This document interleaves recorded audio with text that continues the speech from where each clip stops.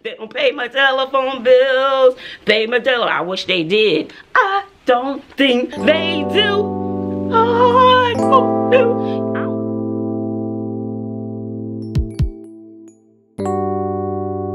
What's up, Bazzle Babes? It's a girl, Joy, back with another banger. Just wanted to hop on here real quickly. Today is, I'm not even gonna say what day it is because you know how I roll. I may not get this up until next year. Period. And all my things up. So how y'all doing?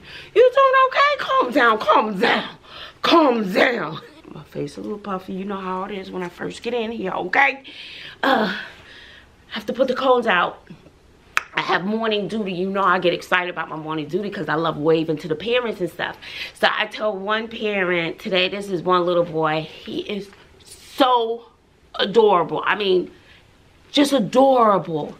And um, he'll always stay after school to help me plug the Chromebooks back in and organize the Chromebooks at the end of the day. And his mom always gives me a teacher appreciation gift, always thoughtful, always thinks about me, right? And so I've been forgetting to email her to thank her. And so I emailed her yesterday. I said, I want to thank you so much for the gift and then blah, blah, blah. Thinking about me, blah, blah, blah, blah, blah, blah, blah, blah, blah, blah. And I said, well, I'll be teaching two eighth grade classes next year. And I'm not sure if your son um, wants to stay with me or do another year. But if he doesn't, you know, it's just a joy um, having him in my class. I just adore him so much. And she emailed me back. She was like, oh my gosh, I just told my son, his face just lit up. We would love for him to be with you another year, blah, blah, blah. Just warmed my heart. And then I also have a few teachers, uh, kids in my class. And sometimes that can be interesting dynamics. and I have one, um, I have a boy, I have, I have a couple of girls, and I think one or two boys, and their parents work here. And so one parent, I keep meaning to write him a thank you note because it really touched my heart. And I was talking to the dad one day, and sometimes the son is a struggle. Sweet, sweet, sweet boy, but he has his highs and lows, but he has a good heart, good spirit, and he's he's really sweet. And so he was like, well, um, you know, somebody told me that you'll be teaching eighth grade next year or having an eighth grade class. Like, yeah, I said, I'll have two eighth grade classes next year. He's like, you know, I want my son to stay with you. I want him to have you. And I was like, really? He was like, yeah, you hold the kids accountable. You know, you stick to, you fair. And I was like, well, that really warmed my heart it really it almost brought me to tears because for a teacher to say that um, and you know his son it has it has been it's, it's been a roller coaster um, for a teacher to say that they still want their child to have me as their teacher. Um, it really I, I thought that was the highest form of a compliment. So that warmed my heart. So enough about school school school school school school. I've been trying to get Bobbi to come up here. She says oh i'm gonna have to go to my um to her old job. Bobbi's back home. I'm going to my old job. This, you know, they want me to come back for the summer, blah, blah, blah. And she was supposed to come to school with me today. I was like, no, just say you don't want to come up to the school today because you're going just to talk to your job. They're open all night. Just say you don't want to come. Let's let's keep it 100 me, but that's fine. She she did come up here and um, spoke to the kids all day, as some of you have seen. If you didn't see that, you need to go look at that video. She did an awesome job. And then, uh, so she's home.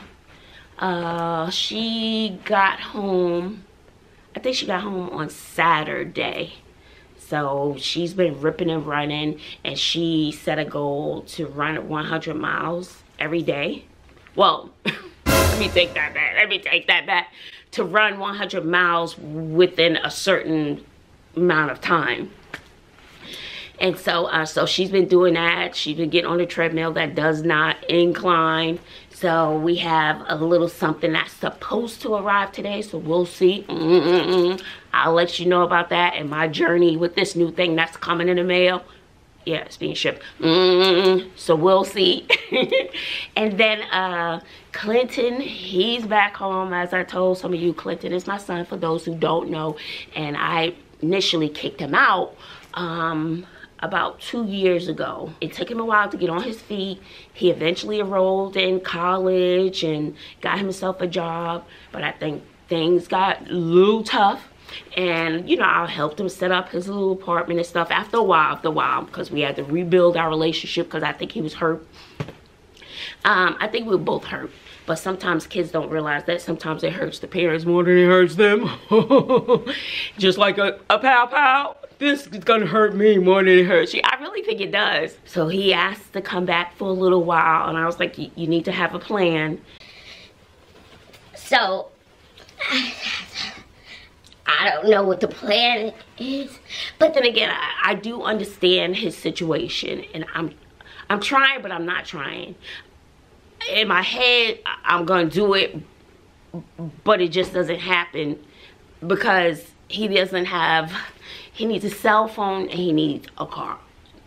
And, and, and so I gotta find him something that had such a horrible, horrible experience with my other daughter's car that I'm just leery or I just don't have the time to look for something. I look on Facebook Marketplace. So if you know other places where I could look uh, online, he looks on Craigslist. And then it's just a matter of going and driving far to look at. sometimes I wish there was, you know, like the, like someone else that could like do that stuff. You, cars is not my thing. You know what I mean, right? Cars is not my thing. I, I, don't know. Does it look nice? How the wheels look? You know, I, I don't know. It's, I'm not pat. I don't know what I'm saying. So I see some of the same patterns that I saw before. Um, so I'm just trying to be patient because I know I need to arm him with the tools in order to be successful. And until I arm him with those tools, I really feel as though I need to have several seats until I can, you know, really help him out the right way. So until he gets the, the phone and a car, a little cash car, just something to get to point A to point B, I feel as though I, I, I don't have much to say. I gotta arm him with the tools before I'll be like, uh-uh. You need to, you need to. You know, so let's see what he does. But I will give him a list of things to do and he'll do them. The kitchen is always clean. Um, he'll cook, he'll clean up. So he, he, he's trying to earn his keep. So you know, and I was like, well, Clint, why don't you put some ads, you know, on Craigslist that you can help people, you know, clean up their garage or help with things that, you know, uh, older people that need help. I'm gonna get there.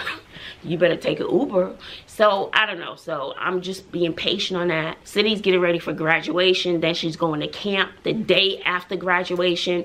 Then she does that. It's a, it's a, um, a Christian camp and I think they travel to different locations. So I don't I don't know. But she's really, really excited. She had to do a full interview for that. So uh, I was I had an interesting conversation. I'm all over the place, y'all. I'm just giving y'all all the tea. Let me see how long I've been on here. Okay. So listen, listen, listen. Child, I need to go out there and put those cones up. Is that light bothering y'all? My little make the days count. There 14 days. so now we have, I'm going to say, I'm not going to count today. So we have 12 days in a wake up. a wake up, that's like 13. Okay, my camera is about to die. But I just wanted to say, in order to keep your peace, this is just my strong belief. You know, you believe what you want, whatever. But in order to keep your sanity and your peace of mind and your spirit even keel, I think that is important to understand that your expectations that you put on someone else will cause you stress. Because if they're not doing the things that you feel as though they should be doing, or they're not acting the way you think they should be acting, you know, adult, whoever, you all you're doing is putting that stress on yourself because you're putting your your expectations on another person no, you need to put your expectations on yourself. And therefore, when the other person doesn't do what you think they should be doing, boom, it causes you to get an attitude. Mm-mm. It, it's, it's, it's work, but I think that, you know, you have to be able to detach yourself from not getting upset and adding that extra stress on your heart, your mind, your nerves, child. Uh-uh. So once you learn how to stop expecting other people to do what you think they should be doing or how they should be acting or reacting to a situation mm -mm, because that's not what you would do mm once you learn that you're gonna be okay just let it go just let it go. I'm just like road rage. I don't understand road rage. I don't understand it at all. Um i was talking with uh bay daddy on the way to work and we were talking about relationships. And i'm like hey i have open mind. Whatever works for one person if that works for you have at it. Let's just say it's a open relationship. Hey if that's your cup of tea and you not hurt nobody do you boo? Yeah okay have fun with that I don't have nothing to do with me because I know a relationship. They do have an open, open relationship and they're very much in love. I, I just love them as a couple, but what they do is their business and there's no shade or no judgment. I think we need to stop passing judgment on people, especially if it's not hurting anyone and it works for other people, whatever is, religion, um, whatever it is. If it works for them, just is their business. And some people like, oh, they spend a lot of money. Okay, that's their money. What they do with their coin, that's their coin. It has nothing to do with me. They don't pay my bills. they don't pay my telephone bills. Pay my telephone. I wish they did. I don't think they do. I don't do. I don't know the words to any song. I know little clips. Anyway, my battery is flashing, which means it's dying. But have a wonderful day. Work on detaching yourself from the expectations of others. Don't put what you think they should do on you. So when they don't do it, you're you're frustrated. No, just focus on what you can control, which is you. Okay? No shade, no shade. That's them. It don't have nothing to do with you, and they're not paying your bills. Period, sis. Point blank. What? You better Google me, boo. You better ask somebody. Bye, y'all.